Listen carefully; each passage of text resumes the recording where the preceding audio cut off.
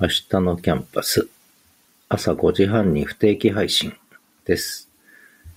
えー、明日6月12日、この日のクローズアップ。二つですね、私の中では。一つがバレーボールネーションズリーグの女子。これが福岡で、えー、先週男子やったんですけど、福岡で。えー、バレーボールの女子が、これから4試合ですね、えー、あります。これが、12日の午後7時から、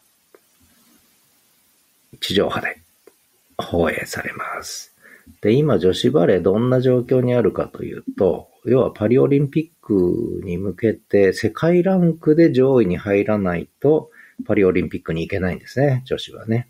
男子はもう、あの、パリオリンピック行けるんですけれども、で、そこでこの重要なのがこの、ネーションズリーグで上位に入ると。なるべく勝ち、なるべくセット数を落とさずにセット数を稼いで、勝ちを稼ぐと。そうすると世界ランキングにこう影響してくるわけですね。で、今女子世界ランク、これ結構変動するんですよね。毎日試合のたんびに。で、日本男子は今世界ランク3位まで上がったんですが、日本の女子は今世界ランク6位ですね。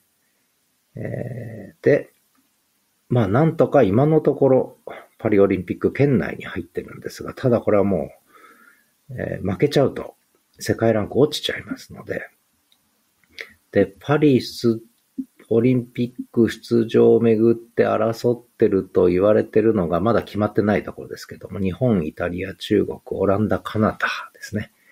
このうちの4チームに決まるだろうと。今の世界ランクから言ってね、これが今世界ランク10位以内で、まだパリ五輪行きを決めてない国なんですね。イタリア、中国、オランダ、カナダ、日本です。